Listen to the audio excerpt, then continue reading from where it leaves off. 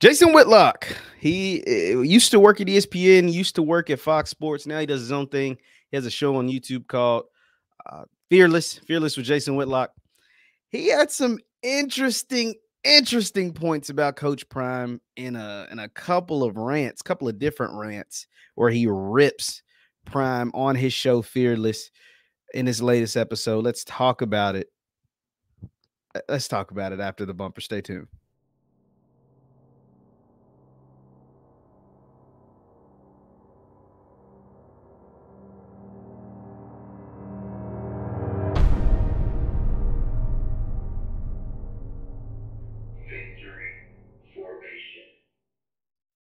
What's going on, everybody? What is going on, everybody? My name is Jeff Lightsy Jr. This is the Victory Formation Sports Show right here on Jeff Lightsy Jr. YouTube, Facebook, wherever you get your content. Do me a favor, hit that thumbs up button, like, share, subscribe, and notification bell because I upload all the time now. Jason Whitlock, a veteran reporter, Jason Whitlock. He's he's been doing this thing for a long time uh, on some major networks for a while.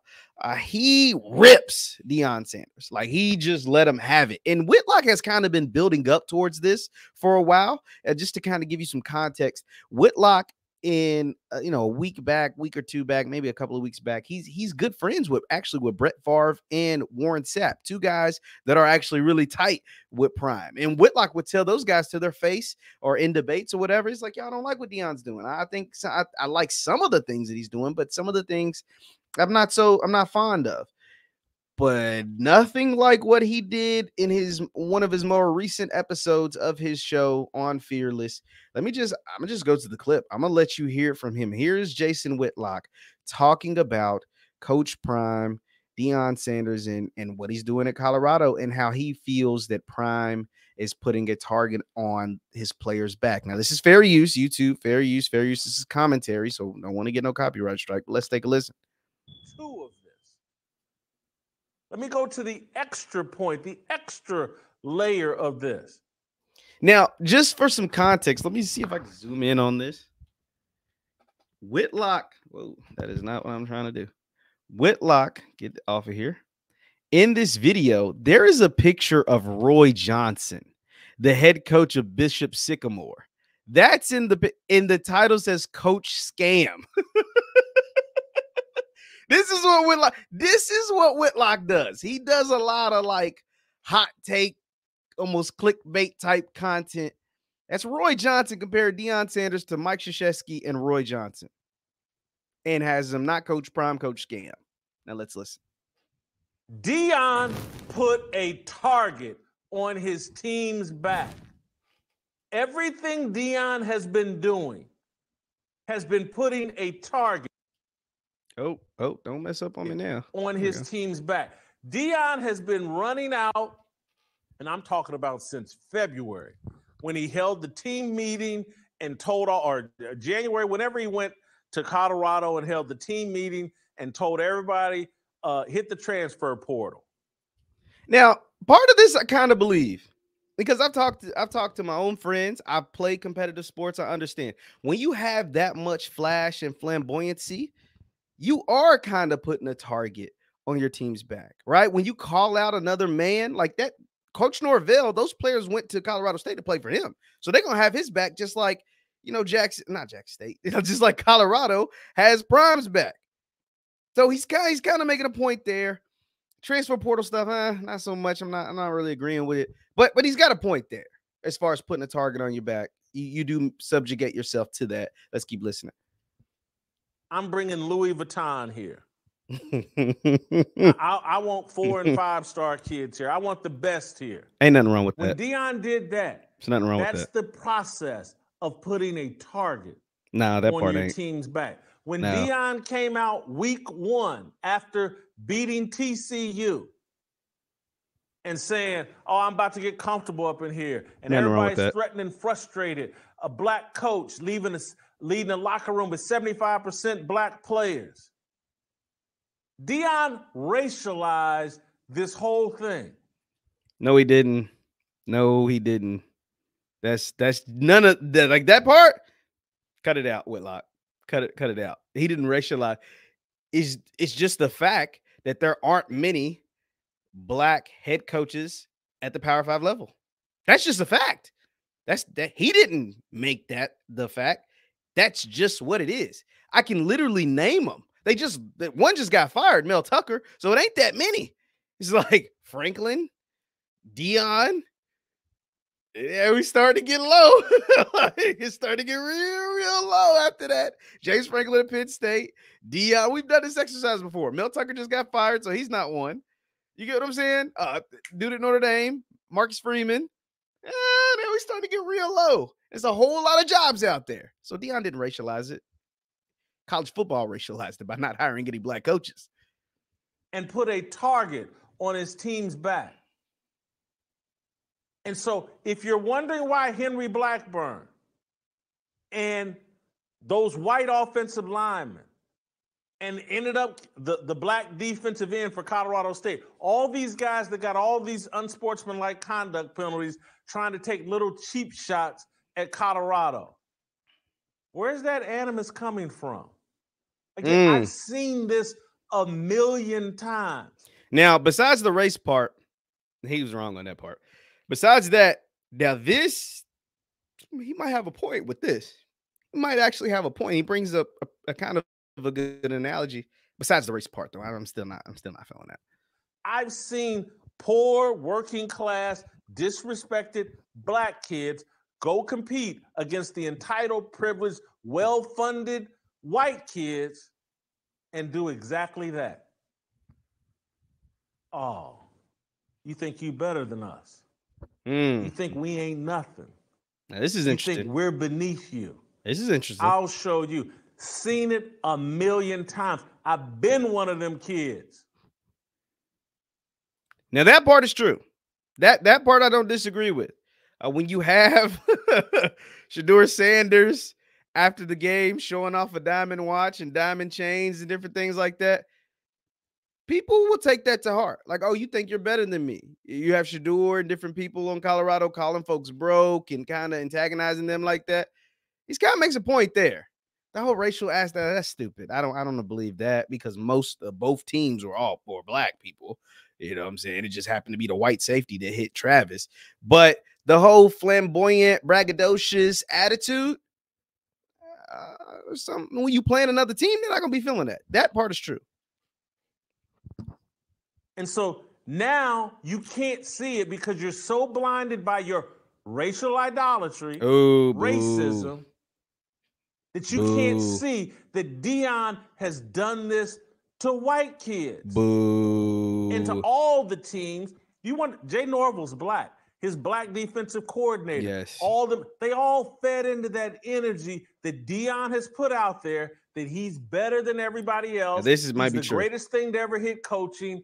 He and his team, everybody's beneath us. That might be true. Now, this might be true. Comfortable with us. The entire Colorado State team starting with their black head coach, starting with their black defensive coordinator. They hit Boulder, Colorado with a chip on their shoulder and an yeah. attitude and told them kids in their locker room, black and white, these guys think you're beneath them. Now, this is and true. So they took that field with that attitude and they took their shots. Absolutely. Just like I said, anybody. Absolutely. Now, to that point, absolutely right. 100% correct. 100% correct. He's 100% correct on that. They they had a chip on their shoulder because the entire you got to think, not just the entire sports world. The entire world picked Colorado to beat Colorado State. And most of us, me included, thought they was going to beat the hell out of Colorado State. They didn't just think they was going to beat them like they won the game, like you know, they won the game on Saturday. But they thought they was going to like beat them silly. Like I think the spread was over 20 points. So that part is true. And that I think is why you saw so many dirty plays, why you saw so much dirty stuff going on from Colorado State. One, I don't think they were as talented as Colorado.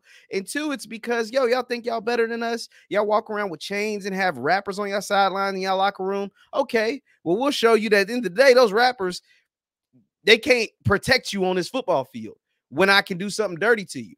That, that I do think was the mindset. And maybe the mindset by other teams moving forward because of what's taking place at Colorado. And especially for the teams that just aren't as talented. you know, the Arizona States of the world. Arizona State got beat 29 nothing by to Fresno. Like they're not as talented as Colorado, but at the end of the day, football, unfortunately, you can't take cheap shots, dirty hits, and sometimes it can cost you a Travis Hunter for three weeks. And that's unfortunate. Let's keep listening. Somebody that's watched and really understands sports among young kids. This has been going on for decades. This is true. This part's true. For decades. Deion put oh. a target, a bullseye on his kid's back. I agree. His bloviating and arrogance and come on. All of the media.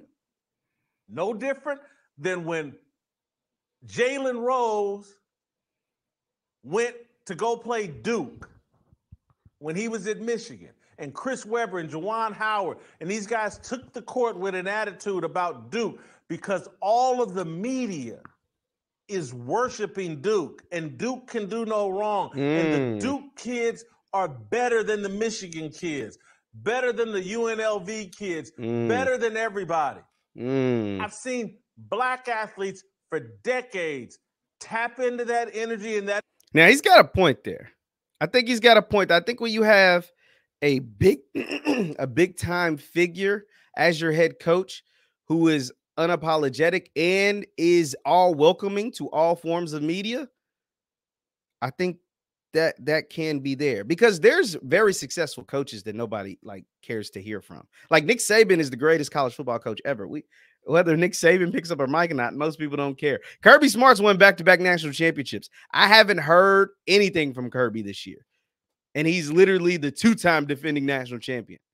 So he's got a point there that emotion and that animus and that feeling of disrespect. And occasionally they lose their mind and cross and cross the line. That's what Henry Blackburn did. That's what I saw the Colorado State players do. Okay, okay, okay, okay. There's so much there. There is so much there. Oh my goodness, Jason Whitlock, thank you for some more content, buddy. Uh, because I I think Whitlock I, I, listen to Whitlock. I think Whitlock says a lot, a lot of goofy stuff, like a whole lot of stuff I just don't agree with. But it's at times he makes points that other people in the media don't make. That I'm like, hmm, he's got a point there. See the the braggadocious and the you know me me me and look at our team and hyping up Shedeur, hyping up Travis. That stuff we love as fans, as content creators, as consumers of of content, all types of stuff. Like we love that stuff. And coming from a cultural icon like a Deion Sanders, we all love to hear, we all love to see it. But then you got to look at the other side because at the end of the day, he is a head football coach, meaning he he is the head coach of a team and they have to go out and play other teams. Well, the problem is when you do all of that stuff, if you back it up, it's lit. if you back it up, it is lit. It is like the best thing ever. But if you happen to stumble like if you would have stumbled against Colorado State, boy, when it rains, it pours. And Whitlock is starting early. He's just getting ahead of it. He's really just getting ahead of it because once Colorado loses, because they're going to lose a game, they're probably going to lose multiple games. These are the type of pieces that you're going to hear. These are the eh, this is the type of content that you're going to hear because for every, you know, there's two sides to every coin. So for every piece of media that is bigging up Prime and that is bigging up Colorado and that is, you know, bigging up everything that they're doing, all the stuff. There is another side creeping, lurking in the cut, lurking in the cut, waiting for them to fall. And boy, if they happen to fall, not just fall, but if they happen to fall hard, and that just means lose. It just means lose one game. And in football, pretty much everybody loses. Hardly anyone goes undefeated they are going to come out banging a drum so loud we've never seen. Now, what Whitlock, the point that he does make, the, the great point that he makes at the end, once he starts talking about the race stuff, because that's stupid to me. I, I think that's dumb. I, I, don't, I just don't agree with that because the dirty hits from Colorado State happened by the white safety, Blackburn, and one of them on Shedeur came from the black defensive lineman, who had a great game, by the way, but he had a dirty hit. That's why he got ejected. That is just going to come with the territory. with when you're very braggadocious, when your quarterback wears diamond chains and diamond watches, and when Rick Ross says, do the Shedeur Sanders, the Shedeur Sanders, when you got famous people doing all of that, people put that in their memory bank and they want to beat the hell out of you. When they get a chance, they want to beat you. And if they can't beat you, or if they think you're just too good, they may take a dirty shot. They may do something illegal and, and, and just take whatever comes with it. You know, Henry Blackburn, when he hit Travis, he was willing to take whatever came with that. That ball literally hit the sideline. He was willing to take whatever came with it. When Kamara drove Shedeur into the ground, put all his body weight on him, looked like a play where quarterbacks break their uh, collarbones. You know, the reason why they banned that play because Romo and Rodgers and all kinds of guys had broken their collarbones. He was willing to take whatever came with that, which included an ejection, and now he'll have to miss the first half of their next game. But that is going to be the mindset of every team Colorado plays. And just every team that is coached by Deion Sanders. It's just the truth. And that can, to Whitlock's point, put a target on your back. See, we didn't see necessarily and here's the thing people might get mad at me at saying this we didn't see a lot of because because prime has been this way since he's been a head coach he was doing the same stuff at jackson but the difference between the players and the teams in a in a conference like the SWAC versus a conference like the Pac-12 see even though prime was doing the same stuff talking the same kind of talk walking the same kind of walk there still was a mutual respect between coaches, players on the other team. Like there were things like Alabama State, obviously the Eddie Robinson Jr. thing happened, but even that wasn't that bad. All he did was just stop Prime from hugging him. It wasn't that bad. And then Prime walked there. He did walk through Alabama State's huddle right last year, and a couple of players cursed at him. Still, I mean, that's not good. That's not that bad. They weren't out there driving Shedeur into the ground or taking cheap shots on each other because at the at the HBCU level, for the most part, let me say for the most part, there's like a mutual respect, and those kids still look up to Deion Sanders, and they respected the fact of what he was doing for the conference, for the players, for the teams, all of that stuff. So even though, yeah, they they wasn't feeling some of the stuff he was saying, and when the two teams that did beat him, you know, South Carolina State in the Celebration Bowl and and North Carolina Central in the Celebration Bowl. You see what their coaches and their players had to say after the game, but during it, they weren't trying to hurt each other. They were just trying to go out there and win. The same's not going to be had in Colorado. The same's not going to be had at the Power Five level because at the Power Five level, they don't care about exposure. All they, they all get exposure. You know, some gets more, some get more exposure than others, but millions of people tune into the games all the time. It don't matter if they're playing Colorado or USC or UCLA. A bunch of people gonna tune into the game a bunch of people gonna pull up to the game. You know what I'm saying? Like that's not the same at every SWAC school. That's the same pretty much at all the Power Fives. Now, to the magnitude of a Colorado, oh, now I really got to show out. And just like you know, those players chose to play for Coach Prime on the other side of the field, those players chose to play for Jay Norvell at Colorado at Colorado State, or they chose to play for uh, Lanning at Oregon, or Lincoln Riley at USC, or Chip Kelly at UCLA, et cetera, et cetera. So those players chose to play for their coach too. And they're going to back up their coach, especially if the they feel like even if their coach says something wild. You know, Norvell kind of started it, but at the end of the day, it was up to the players to back him up. And they're like, okay, coach, you recruited us, you love on us. The whole world is picking Colorado. So we're going to have your back, coach. Just like the players of Colorado do the same for Prime. And especially when you're playing teams that you're better than, that you're more talented than, you can put somewhat of a target on your team's back. Now, the thing is, as long as you go out there and handle business, you're gonna do what you got to do. You're gonna handle business, you're gonna beat them in whatever it is, what it is. But at the same time, Whitlock does make the point that those teams, each and every single team that Colorado plays, and it's not a bad thing. But each and every single team that Colorado plays, whether they're the favorite like Oregon, I think Oregon's a 20 point favorite this week, or whether they're the underdog, they're all going to feel like the underdog because all the celebrities, all the dignitaries, all the big name famous people, they're all team prime. they're all team prime. The only people rooting for the other team are the fans of that school and the parents of the players, the wives of the coaches. That's about it because the whole the rest of the world just get on Twitter. The rest of the world, the rest of everywhere rooting, is rooting for Colorado. And that can inspire another team. It's not once again not a bad thing. And the bullseye thing is not necessarily a bad thing. But when you are that braggadocious, it can lead to sometimes players on the other team acting silly, especially if they feel like you may be better than them. And in some of those underdog games against the Arizonas and the Arizona States where they're the underdog, those players may get a message from their coach that leads them to do something that's uncalled for. And I think that may have happened in the Colorado State game. And it almost guaranteed it was almost guaranteed that it happened because even when Jay Norvell was asked about the dirty hits, kind of brushed it under the rug. he didn't say any kind of disciplinary action or anything was going to happen to any of his players because he probably kind of coached it up without coaching it up. Wink, wink, wink. You know. But this was interesting commentary about Whitlock. Very, very interesting. Leave your thoughts in the comments down below. Leave your thoughts in the comments down below. Once again, my name is Jeff Lightsy Jr. This is the Victory Formation Sports Show right here on Jeff Lightsy Jr. YouTube, Facebook, wherever you get your content. Do me a favor, hit that thumbs up button, like, share, subscribe. Also, you can follow me on Instagram and X at JLightsy7, Instagram and Twitter at JLightsy7. Thank you guys for tuning in. I'll see you next time. Peace.